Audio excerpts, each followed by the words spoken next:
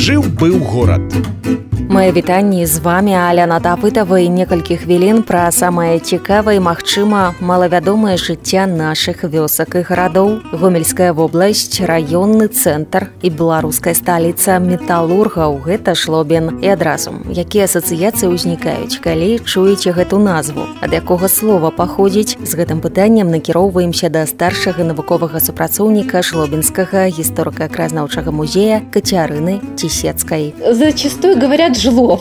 Хочу вас разочаровать, что от слова злобин, злое, скорее всего, место. У нас существует даже красивая легенда, которую написал замечательный наш писатель Александр Капустин, почетный гражданин города Жлобина. Когда-то давным-давно на высоком берегу Днепра поселились люди. И однажды, когда солнышко ходило за горизонт, здесь появился 12-головый змей-людоед и закричал «Я буду облагать вас данью каждое утро и каждый вечер. Приносите мне по одному человеку». Вядома, людзі былі супраць, але што пачвары да гэтага схапіў змей самую прыгожую жанчыну і зацягнуў яе ў балота. Целую ночь бушевала буря, и только один человек, храбрый богатырь Петрок, не спал.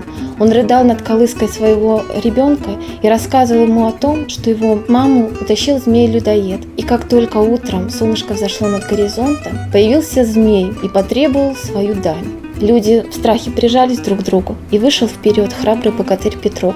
Он схватил поваленное бурей дерево, замахнулся им как булавой и отрубил первую голову. И началась битва. Закончилась тем, что богатырь смог победить змея, но, к сожалению, погиб сам в этой битве.